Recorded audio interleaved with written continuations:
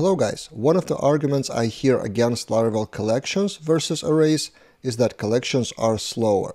But are they? Let's test it out. I asked my colleague Nerijus to create a small demo project for me and let's compare array operations versus collection operations on pretty similar things they're trying to do. So imagine the scenario of you have 100,000 users in the database or in my case in the CSV. I import them from CSV like this into array. And then the goal of your page is to calculate the popular first names of those users. So a few operations need to happen. You need to have the first name separated from the last name. In my case, it's just the first name which is wrong, but in general, in Laravel default factory, it's a full name. So you need to separate the first name, then group by amount of people with that name, and then order by descending. The result is something like this. The most popular names ordered by descending, something like this. And let's see how it's performed. So with arrays, the theory is that we have only one run through all that 100,000 users, one for each, and then inside we perform a new array, adding more data to it, and only then sorting. So we have one run through the full data and then sorting of much smaller amount of data. In collections, we're doing the same thing as a collection chain. So first we transform the array into collection, then we map through that and get only the first names. Then we filter out, for example, the names that users don't want to be included in this list. Then we group by and map with keys and then sort. This is the way I came up with to perform the same operation. Maybe there's a better way. If you know about it, shoot in the comments below. So let's see how they performed. I will just comment it out, echo the array result difference, echo collection result, and then die so we don't need the visual view, and we refresh the page. I will zoom it in a bit, and as you can see the difference is pretty clear. 0.09 seconds for the arrays and 0.18 for the collections. Let's try it a few times.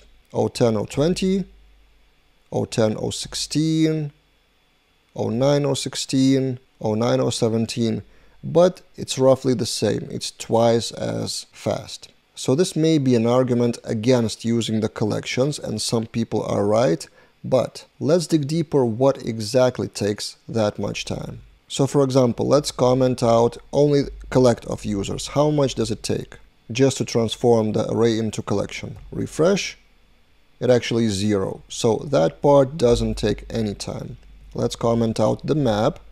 So the first run through those and getting the name, refresh, Okay, so it's the same time, 008 here and 008 here. And that actually performs, I think, the same thing. One run through will take just 008 second. Let's refresh that. So even that alone will not be faster than the whole array because it's one run through 100,000 items. Then let's comment out another run through. We're filtering the unneeded items and let's see how that would impact. 008, it is 009, 009, a bit slower but not by much.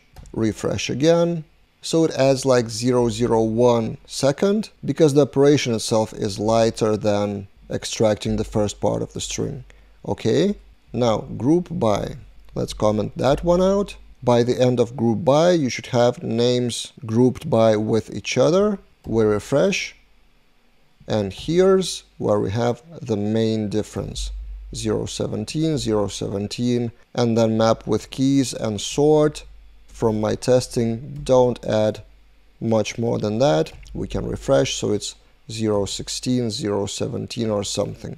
So the main stopper and slowing down is actually group by. What happens inside of group by?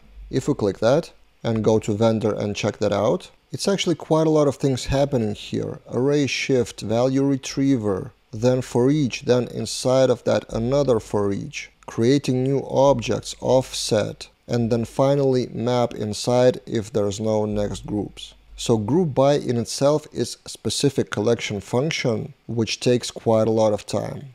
So my point here is that it's not comparing collections to arrays because quite often it's not the same functions that are executed.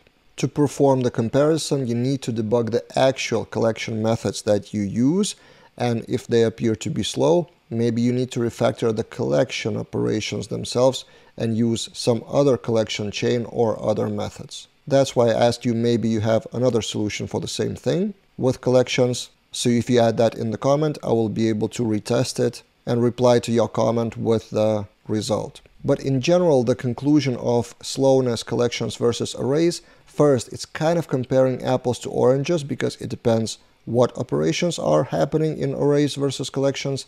And also keep in mind that if you have 100,000 records in the collection and then perform the collection operation, maybe you need to rethink the strategy of how you get that data in the first place. So maybe you want to filter that in the database, which is the fastest usually. So I would defend the collections that in some cases they may be slower, like in my example, but every example is individual. So trace down your example, debug your example, and then make the decision or make an advice of which to use. The question to you, have you done any benchmarks like this of arrays versus collections? Because I see people tweeting and replying to comments like collections are slower. But do you have versus? the test, the benchmark with numbers, with data, just like I did here. I would be glad to share your research if you have done something like that. So share in the comments below if you have anything. And finally, for the collections, I'm planning to release a course about collection chains specifically with a lot of practical examples. It should be out at the end of June or maybe July. And you will get that as a course as part of yearly membership on my laraveldaily.teachable.com. So subscribe to that and see you guys in other videos.